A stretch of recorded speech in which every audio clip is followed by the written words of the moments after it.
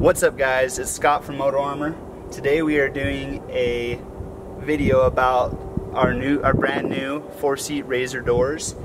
We have just come out with them.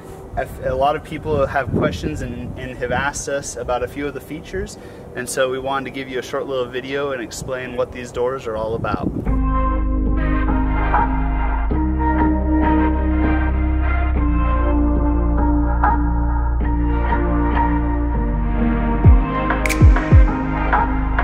Um, they are only for the four seat uh, right now for Turbo S 14 to, to 2020 basically, 1000 XPT Turbo S. Um, we will have the two seat out shortly. Um, some of the cool features are about it are we use PEMs on the on the skins. You cannot see the hardware. Um, they're flush mount. It's a great way to wrap a vehicle and you never see the hardware. Also, if you come and open and we open these doors, you can see that we're using um, an eighth inch aluminum skin, about double the thickness that's anything on the market right now. Again, we're using 3 16 steel bracketry, which again is thicker than anything on the market. We designed the skins to be thick enough so that you can sandblast them and repowder them if you'd like, that they won't warp in sandblasting. We also designed into this that the doors come straight off. If they're opened, they can come off. If they're closed, they're locked in.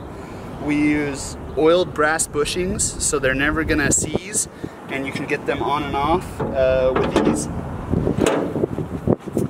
We have our rear bracket. The front is suicide. The rear is now a conventional door compared to what stock is. So we hope you like them. If you have any other questions, let us know.